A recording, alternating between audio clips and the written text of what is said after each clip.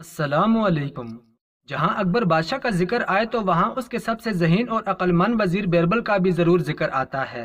Bearable एक पान की दुकान पर चंद सिकों की मुलाजमत करने वाला इंसान सिर्फ़ अपनी अक्लमंदी की वजह से शहशाह अकबर का सबसे करीबी वज़ीर बन गया और न सिर्फ़ शहशाह का वज़ीर बना, बल्कि शहशाह के महल में सबसे ज़्यादा अक्लमंद वज़ीर कहलाने लगा। एक दिन अकबर बादशाह महल में बैठा हुआ था अकबर बादशाह के जहन में न जाने क्यों ख्याल आया और अकबर बादशाह अपने तमाम वजीरों को कहने लगा कि मेरी नज़र में अब हमारे महफिल में बेरबल से ज़्यादा ना ही कोई चालाक है और ना ही कोई अक्लमंद है और ना ही बेरबल की तरह कोई जहीन है हती कि मैं खुद अक्लमंद नहीं। तमाम वजीरों ने अकबर बादशाह की हाँ में हाँ मिलाते हुए कहा, हजूर, आपने बिल्कुल दुरुस्त फरमाया। इतने में अकबर बादशाह की नज़र एक ऐसे वज़ीर पर पड़ी, जो बिल्कुल खामोश था। ना ही उसने बादशाह की बात पर कोई तनकीद की और न ही अकबर बादशाह की बात में हाँ मिलाई। ये देखकर अकबर बादशाह को बड़ी हैरानी हुई और उसने उस वज़ीर को अपने पास बुलाया। और कहा कि क्या मेरी बात से तुम सहमत नहीं हो? क्या ये बात दुरुस्त नहीं कि बेरबल तमाम दरबारियों हती कि अकबर बादशाह से भी ज़्यादा अक्लमंद है? तो वज़ीर ने कहा, बेरबल अक्लमंद भी होगा, जहीन भी होगा, और अकबर बादशाह यानी शनशाह आज़म का चहीता भी होगा। लेकिन मैं इस बात को नहीं मानता, जब तक कि बेरबल अपनी अक्लमंदी को किसी दिन साबित नहीं करता। अकबर बादशाह ने कहा, फिर किसी दिन की क्या ज़रूरत? अभी तुम बेरबल को कोई चुनौती दो, और अगर बेरबल तुम्हारी चुनौती को पूरा ना कर सका तो मैं इसके बाद ऐलान कर दूँगा कि बेरबल ना ही तमाम वजीरों से जहीन है और ना ही अक्लमंद। वज़ीर ने कहा, हजूर, अगर ऐसी बात है तो बेरबल मेरी एक पहेली को सुलझा दे। तो मैं बेरबल को सबसे ज़्यादा जहीन मान लूँगा।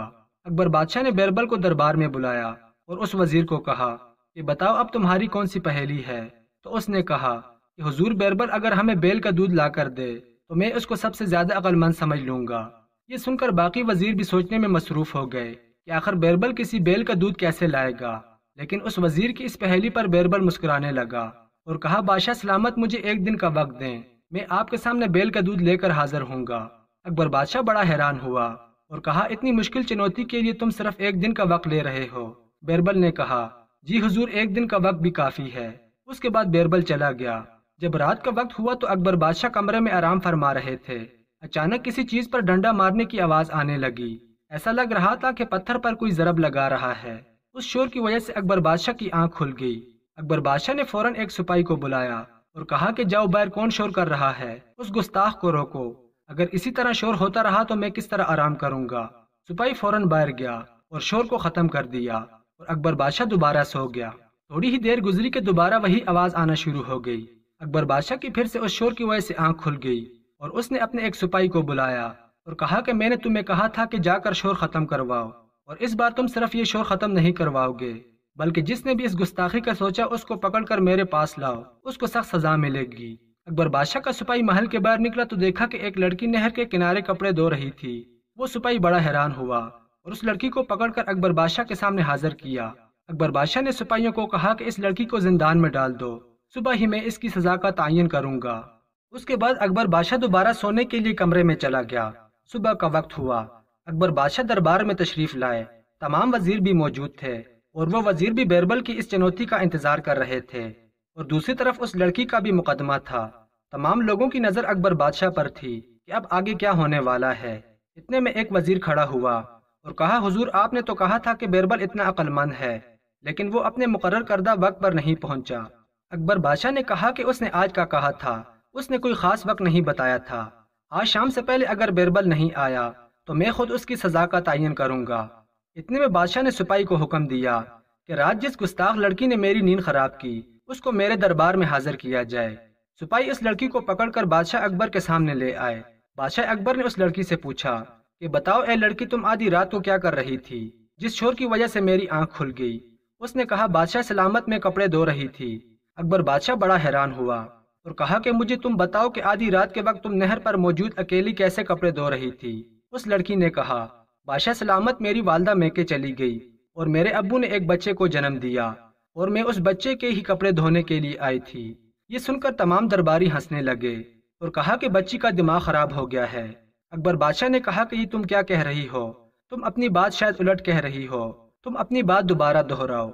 लड़की ने फिर वैसा ही कहा कि मेरी माँ अपने मैके में गई थी। और मेरे अब्बू ने एक बच्चे को जन्म दिया, जिसकी वजह से मैं ये कपड़े धोने आई। उसकी बात सुनकर तमाम दरबारी फिर से हंसने लगे और कहा कि ये लड़की तो बावली हो गई है, ऐसा कैसे मुमकिन हो सकता है? उसके बाद अकबर बादशाह ने कहा, चलो, ये बात तो तुम्हारी समझ में आ गई, लेकिन आधी रात को कपड़े धोने का क्या मतलब? ये काम तो तुम दिन के वक्त भी कर सकती थी। तो उस लड़की ने कहा, बादशाह सलामत हमारा मुर्गा हर दिन एक अंडा देता है, और मैं उसका इंतज़ार करती रही कि कब वो अंडा देगा। और मैं उसको बेचकर इससे कपड़े धोने के लिए साबन ले सकूँ। ये बात सुनकर फिर से तमाम दरबारी मुस्कुराने लगे और कहा, हुजूर, एक मुर्गा अंडा कैसे दे सकता है?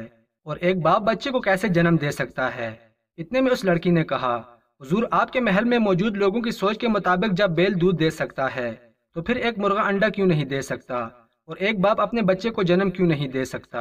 अकबर बादशाह ने उस लड़की की ये बात सुनी तो बादशाह अकबर उसकी बात समझ गया और इसके बाद उस वज़ीर को कहा कि क्या तुम इस लड़की की बात को समझे? उस लड़की की बात को सुनकर वो वज़ीर भी शर्म से सर झुकाकर बैठ गया और इसके बाद बेरबल ने कहा, हुजूर, अगर इसके बाद भी किसी वजाहत की ज़रूरत है तो मैं वो भी करने के लिए तैयार हूँ। अकबर बादशाह ने कहा कि तुमने अपनी अकलमंदी से मुझे अच्छे तरीके से समझा दिया कि जिस तरह एक मुर्गा अंडा नहीं दे सकता, एक बाप अपने बच्चे को जन्म नहीं दे सकता, इसी तरह बैल भी दूध नहीं दे सकता। जिस चीज़ के जिम्मा अल्लाह ताला ने जो काम लगाया है, वो सिर्फ़ वही कर सकता है। और इसी तरह उस वज़ीर ने भी बेरबल की अकलमंदी को मान लिया कि बेरबल ने किस तरह बेहतरीन अकलमंदी से ये सब कुछ साबित कर दिया।